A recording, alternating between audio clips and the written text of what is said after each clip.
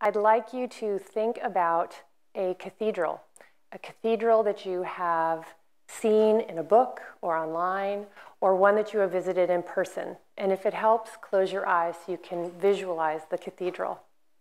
I want you to walk into the cathedral and look up. Look up at the very high ceilings, the beautiful arches that go up to elevate that high roof. How many people do you think it took to put that building in place? Bring your eyes down just a little bit and look out at all of the stained glass windows. How many hands picked the colors to create the patterns, to set the glass in the sills that you see around you? Now bring your eyes down and look at all of the pews, perfectly symmetrical, hand carved, beautifully designed, as they lead up to the beautiful altar in front of you. Open your eyes. Come back with me now. This is my favorite cathedral.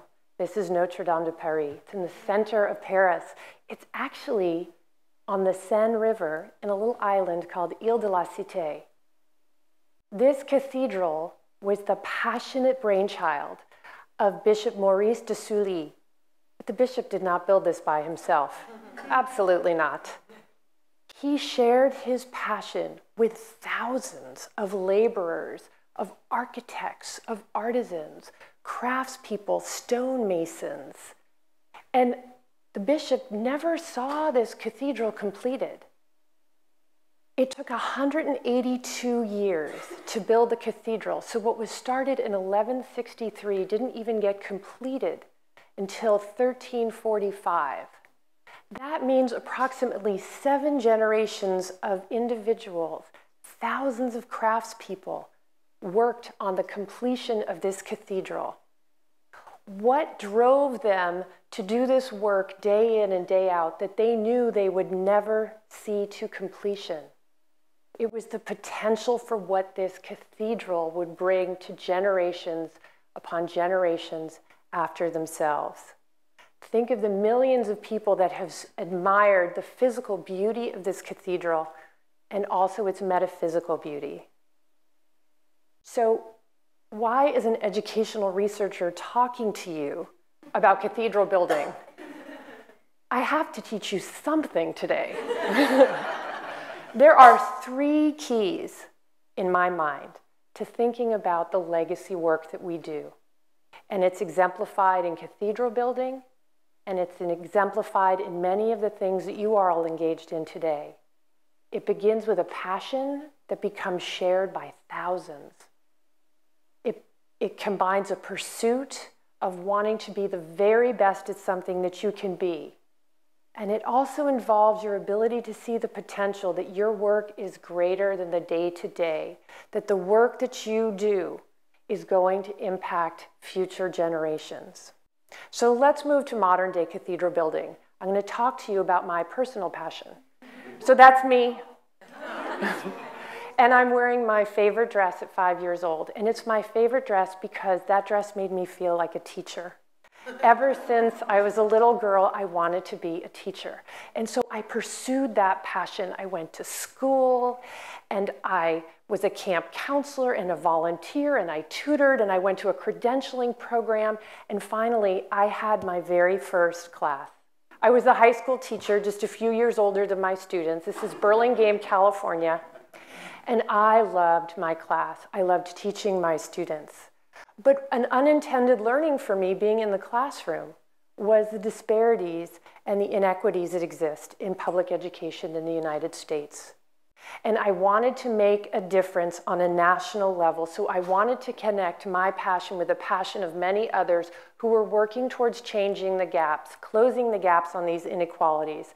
So I actually went back to school to really focus on research and evaluation efforts. And for the past 25 years, I have been fortunate enough to work with teams of individuals in the federal government looking at comprehensive school reform, looking at how we implement common core standards so that all students are college ready. I've been working with foundations to help teachers change their practices across the country. I've been working with state departments and local districts on innovative technologies that we can put in place to improve teaching and learning. There's a section of education that I'm particularly interested in right now and I want to speak to you about that is very, very challenged and needs a lot of us to focus on and commit to in order to close the gap. Adult education. 36 million. 36 million adults in this country struggle with reading. This is an issue for them in many, many ways. This limits them in their ability to sustain themselves, to be productive citizens. It limits their ability to persist in ed the education system. And unfortunately, this condition is most likely passed on to their children and their children's children. It is a multi-generational gap that we need to address. And within this population, there is a distinction. The most challenged population are those reading at the third grade level and below. If you are reading at a fourth grade level and above, you may be challenged, but you can read to learn. You can read sentences, you can read paragraphs, and you can make meaning of those words, and you can teach yourself, and you can advance and improve your understanding. You can advance and improve your knowledge. You can go back to school. You can access information.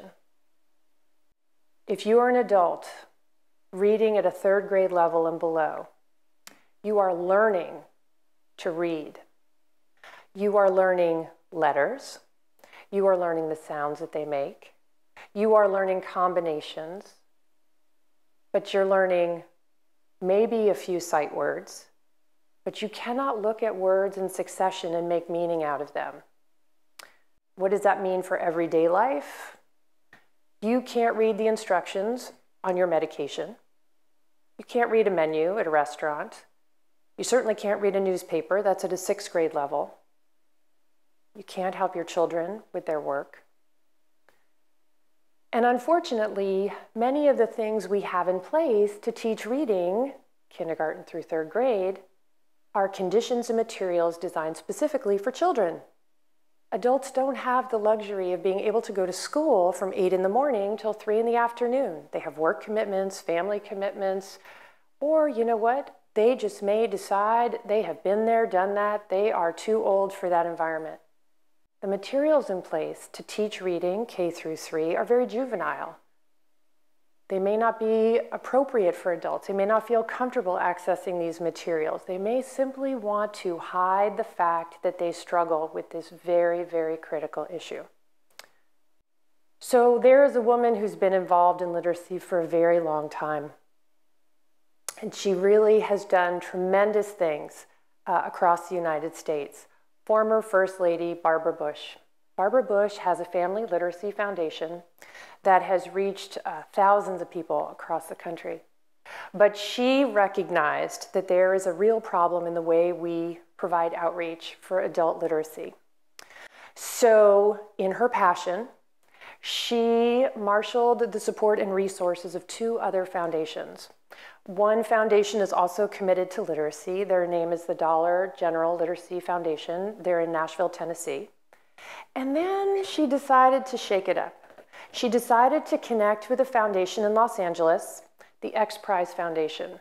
And this is important because the X Prize Foundation is a foundation that works to solve large global issues using innovative technology and crowdsourcing bringing thousands of people together from multiple disciplines to innovate new ways of closing persisting problems, the gaps on persisting problems. So these three foundations got together and they decided what is the most consistent technology that adults have access to that can be a teacher anytime, anywhere? The cell phone. So as a result, they have brought together educators, researchers, designers, developers, coders, artists to form teams and design literacy apps for the smartphone specifically targeted for adults who are reading at a third grade level or below. That's the first ring. the foundations. The second ring, the teams of innovators. The third ring, we are inviting up to 12,000 adults to test these apps out. 12,000. And then in come the researchers. Here we come. And we are studying the impact of these adults using these technologies. What is helping? What is hindering? Who is learning with greater acceleration? All the nitty gritty stuff that I love to get my hands dirty with. Okay. So we are also bringing in, here's the fourth ring, we are bringing in community members and we have purposefully targeted three states across the country. We've targeted Los Angeles, California on the west, Dallas, Texas, covering the south, Philadelphia, Pennsylvania on the east, because we are creating awareness of these communities about the gap that persists, about the work we are trying, about the opportunity to participate and help. And what we're hoping is that message is going to meet in the middle of the country so that we will create a national awareness about the issues persistent in adult literacy. We know that one app is not going to close the gap. We also know that this work is hopefully going to be picked up by children of the next generation and the generation after that. We're all cathedral builders. We're all laying the bricks. We see the potential in this work. I know you are all modern day cathedral builders too. I look forward to hearing about your legacy work. Thank you.